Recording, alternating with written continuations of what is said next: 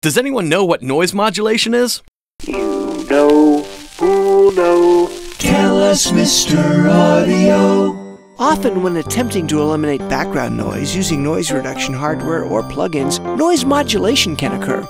It sounds like this. Essentially, the background noise goes away in the gaps between the audio signals and then reappears when the audio returns.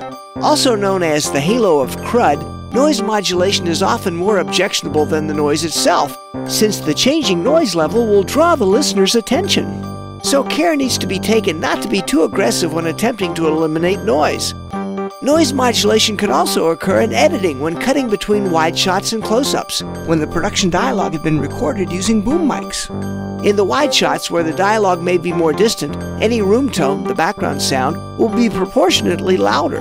This will cause the background sound to surge or shift on the cuts.